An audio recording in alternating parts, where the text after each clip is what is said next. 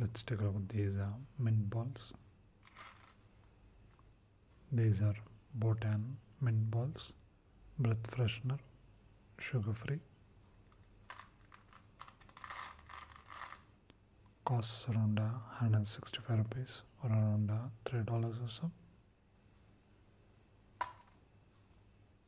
It shows you how to open the pack. There is something in the middle of the ball it says a triple action.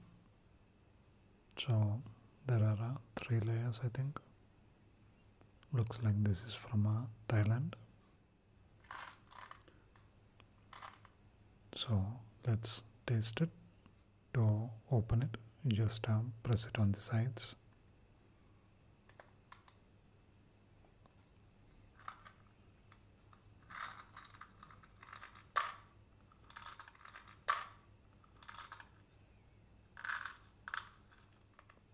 let's taste. It it's a really hard uh, mint ball it's also really strong. It has a mild sweetness to it.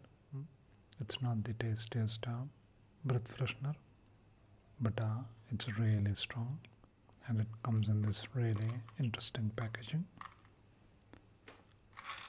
Very strong uh, mint balls quite nice check it out